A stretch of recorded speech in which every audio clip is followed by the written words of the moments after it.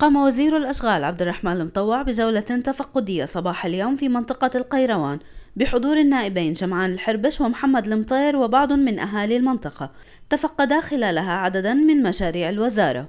إن شاء الله نشوف الحدائق العامة. إحنا جولتنا كانت للمداخل مو للحدائق العامة لأنه مو تبع الأشغال تبع الزراعة.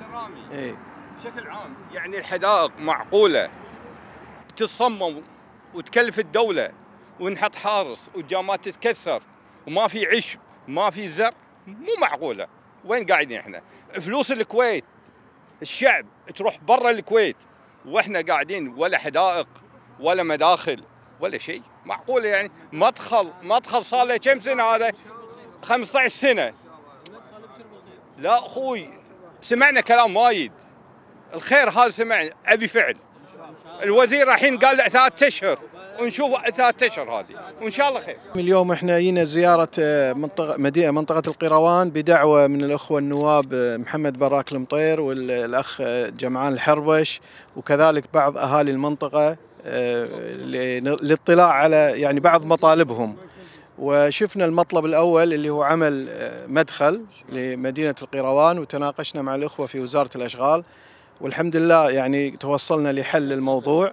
الحصى المتطاير أنا صرحت أكثر من مرة إن إحنا الآن عندنا خطة. اولا تشمل كل طرق الكويت. وزعناها إلى ثلاث أنواع. طريق جيد طريق يعني سيء طريق سيء جدا. عندنا خطة راح نبدأ بالطرق السيئة جدا وبعدين نروح للطرق اللي أقل سوءا إلى أن ننتهي من هذه الحصى وفي إجراءات ذكرناها إحنا مساع وإحنا قاعدين كذلك. الإجراء الأول إن إحنا موضوع التدقيق على المقاولين إعادة تأهيلهم زيادة فترة الضمان من خمس إلى سبع سنوات. طريق كبد فيه مشروع تطوير له الآن. يعني داخل عندنا مشروع تطوير بس الآن في طور التصميم.